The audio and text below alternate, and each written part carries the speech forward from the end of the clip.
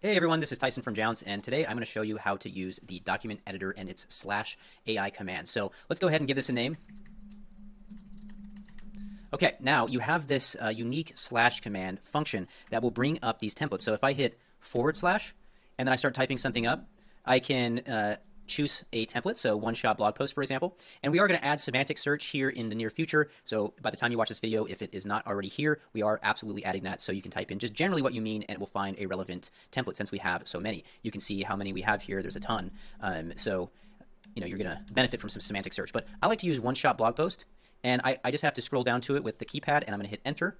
And let's go ahead and actually use the prompt that we see. So let's do ethical AI in marketing. And I'm going to say creative. I don't have to add a tone of voice, but I'm going to put it here. And then I'm going to say uh, chief marketing officers. Okay. And I'm just going to hit enter now. Okay, and just like that, there we go. The longer posts, like the one-shot blog post and a few of the other ones, do take a little bit longer. But now I have this entire out output here, and all I have to do is hit enter to keep it. Now, if for whatever reason I want it to rewrite or I want to escape, I also have those options. But for now, I'm just going to hit enter.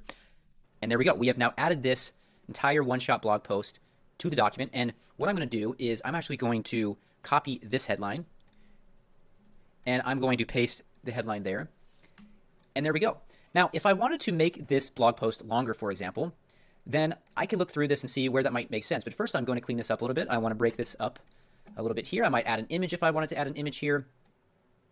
Okay, let's actually add this AI created image.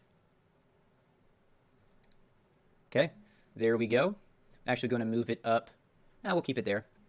And this is a pretty short description here. So let's go ahead and take this. And I'm going to do a sentence expander. And I'm going to put that in. And I'm going to say creative here. Hit enter. And just like that, instead of this short sentence we had here, we have this entire post. So I'm going to hit uh, enter. And then we can actually delete this original one.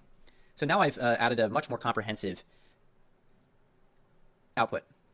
So I can do that repeatedly as much as I want. If I wanted to actually add some more uh, content here, I could come here and say that, you know, the impact of ethical AI in marketing. And let's go ahead and generate an, a full outline for this.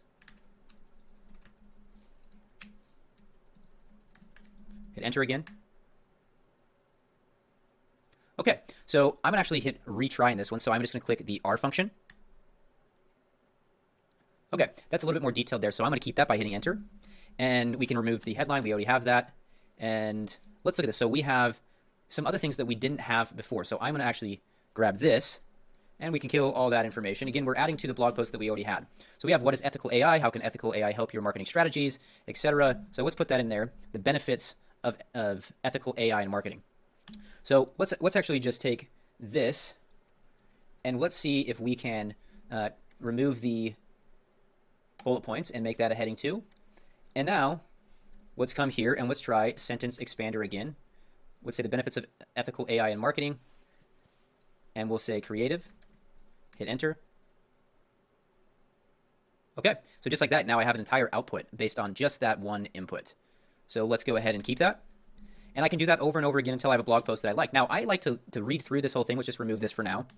I like to read through my posts and edit them and fine tune them because this is just really inspiration to give you a good, you know, percentage of your blog. But you should add your own details. So, for example, if we're talking about AI being used to automate your customer service inquiries, I might also want to do some linking. So I could come here and say uh, AI for customer service inquiries because we want to add some context. And this is AI and customer service, so you should read through some of these. This is, you know, 11 examples of AI and customer service. So if I read that and it's something that I like, then of course I'm going to come here and now I want to add some linking uh, for my, my blog post. So that's a good way to build it out. And once you're done, you can actually copy this whole thing and it will retain its HTML structure. So that is the fastest way to use the Jounce document editor in the current private beta state. And we have a lot more coming. Now, if you find quotes, for example, then you can also come in here and let's say that uh, we have a quote here. Know, I might want to add some quotes as well. I might want to break, you know, a section down before I get to the conclusion. I might want to hit enter here, add a line break here. It's just really up to us how we want to go about structuring our blog post. But I'll leave it to you to play around.